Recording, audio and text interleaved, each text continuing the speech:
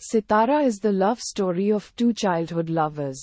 Dhania and Kundan. They come to Bombay due to their economic conditions and they start working in a cinema hall. Dhania is fascinated by films and has hidden desire to become an actress. So she often imitates the dances shown on movies. One day Dhania plays the record of the songs and starts dancing. Assuming herself as the heroine of the film.